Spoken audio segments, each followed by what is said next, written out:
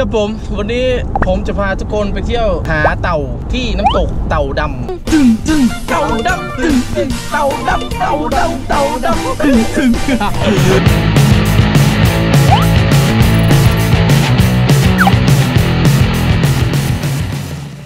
น้ำตกเต่าดำนั้นตั้งอยู่ในพื้นที่อุทยานแห่งชาติคลองวังเจ้าลึกเข้าไปอีก 34 กิโลเมตร เราจึงแวะพักที่อุทยานและสอบถามข้อมูลจากเจ้าหน้าที่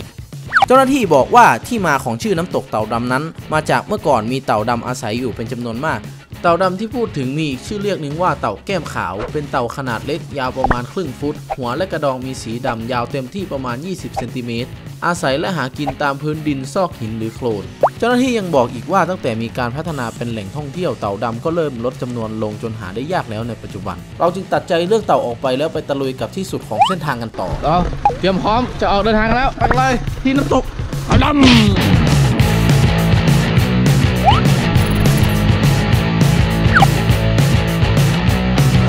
จะมาน้อยอีกไกลไหมกว่าถึงหมู่บ้านจะมาน้อย เฮ้ย อู้ตัวกับมาปากโยหมด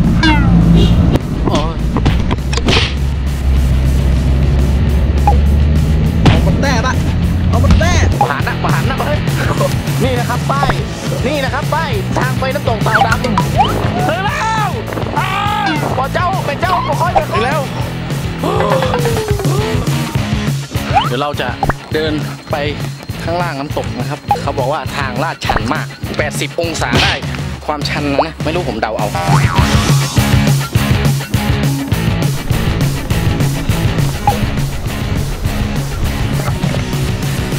มันมีพายุนะครับผม มันทางมันถล่มถึงแล้วครับ ได้ยินเสียงน้ำตกไหมได้ยินเสียงโคตรดังเลยโอ้โหไอ้